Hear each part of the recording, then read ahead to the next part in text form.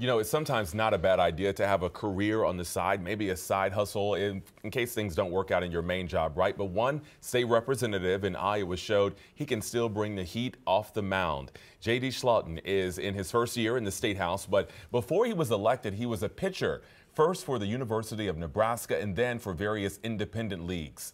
So over the weekend, his old team, the Sioux City Explorers, they needed some help. So he did not disappoint. He threw six and two thirds innings and struck out two hitters in a 11-2 win. And he says he's not done. He plans to pitch again in a game they have coming up on Thursday. All right, so, 11 to 2. Yeah, so he's got a lot going for him. You know, like I love to see people who have like that duality. They can be one thing, but then take off the suit and do something else Look, as what well. What they say, get you somebody who can do both. Yeah, do both, do a lot.